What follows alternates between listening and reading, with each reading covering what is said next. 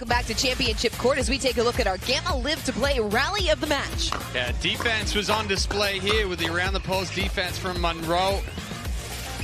Speed up here, but just too elevated from Sincola. Tadio gets on top. They're moving on to the championship in men's.